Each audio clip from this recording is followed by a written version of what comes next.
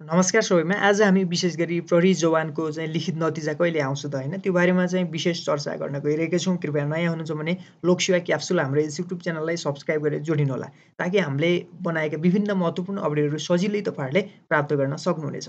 सुरु गरौँ आजको विषयवस्तु। आजको विषयवस्तु विषय गरिरहेको छ तपाईँहरूलाई मैले विभिन्न अपडेटहरूको क्रममा भन्ने गरेको थिएँ कि लिखित परीक्षाको नतिजा चाहिँ तेस्रो हप्तातिर चाहिँ आउन सक्छ त्यसमा चाहिँ सम्बन्धित हामीलाई चाहिँ सूचना अनुसार भनेर चाहिँ बताएको थियो त्यसमा चाहिँ अब करिब करिब हुन लागिसकेको छ होइन?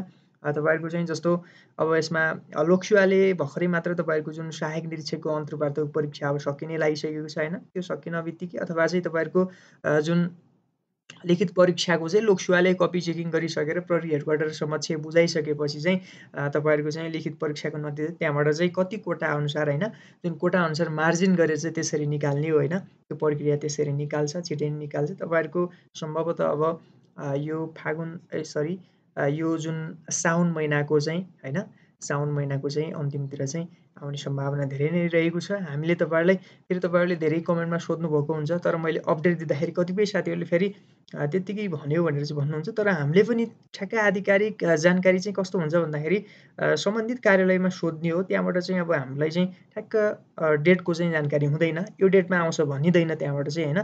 त्यहाँबाट भन्ने जवाब के हो भन्दाखेरि अझ तपाईँहरूले पनि सोध्न सक्नुहुन्छ।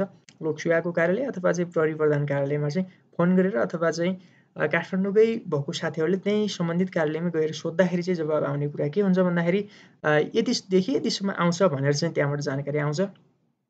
हामीले भर्खरै आज मात्रै त्यहाँ गएर चाहिँ सोधेका थियौँ। त्यहाँ सोद्धाखेरि चाहिँ तपाईँहरूको के भनेको थियो भन्दाखेरि नतिजा यो साउन महिनाभित्रै चाहिँ आउँछ भनेर चाहिँ त्यसरी हामीलाई चाहिँ विशेष तरिकाले चाहिँ उत्तर दिनुभएको थियो होइन?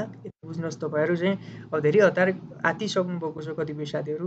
प्रत्येक मेरो भिडियोहरूमा चाहिँ कमेन्ट हान्नुभएको हुन्छ होइन? अरू भिडियोमा पनि रिजल्ट सम्बन्धी कमेन्ट रिजल्टको नोटिस सम्बन्धी चाहिँ कमेन्ट गर्नुभएको हुन्छ। त्यो भएर मैले तपाईँहरूको जिज्ञासा मेटाउनलाई चाहिँ यो भिडियो बनाएको हुँ यति जानकारी दिनलाई होइन?